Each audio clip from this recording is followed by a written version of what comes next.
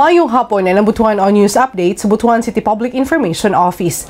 Formal na gilusad ang Local Governance Resource Center kung LGRC sa pagpanguna sa Department of Interior and Local Government kung DILG sa Sangguniang Panungsod Building, Butuan City. Sumala ni Engineer Donald Cironay, DILG Carago Officer in Charge, ang center abli sa publiko labi na para sa mga estudyante researcher o bisan katong individual nga gusto makakat-on unsa ang local governance o good governance.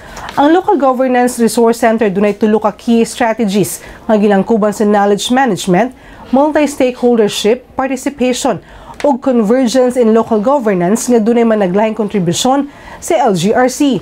Gawa sa taga DILG, gitambungan sa Liga ng mga Barangay President, Kapitan Gemma Tabada, Academe, mga NGO ug managlahing opisina sa lokal nga panggamhanan sa Butuan ang natigayong paglusad.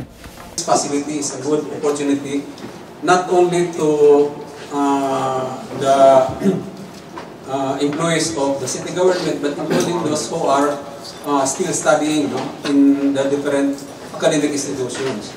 Probably a, a group of 10 individuals might be uh, visiting us here in this South LGRC in order for us to probably discuss anything about local governance. This is just a stepping stone for a sana a bigger knowledge center for the city government. So hopefully, hopefully, that's the dream.